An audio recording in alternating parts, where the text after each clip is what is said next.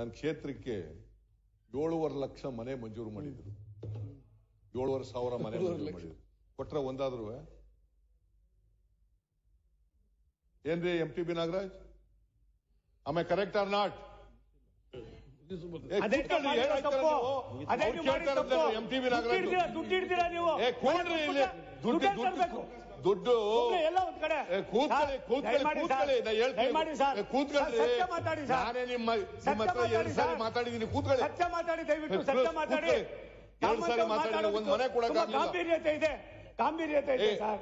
M T B Nagaraj ಹೇಳ್ರಿ. MTB ಅವ್ರು ನಾಗರಾಜ್ ಸಾಕ್ಷಿ ನಿಮ್ಗೆ. ಸಾಕ್ಷಿ. M T B Nagaraj M T B Nagaraj ಕೂತ್ಕೊಳ್ಳಿ. ಹೇಳ್ತೀನಿ ಆಮೇಲೆ ಆಮೇಲೆ ಹೇಳಿದ್ರೆ ಕೂತ್ಕೊಳ್ಳಿ. ಎಲ್ಲ ಪಾರ್ಟಿ ಬಿಟ್ಟು ಹೋಗ್ಲಪ್ಪ ನಿಮ್ಮ ಹತ್ರಕ್ಕೆ ಬಂದಿರಲ್ಲ.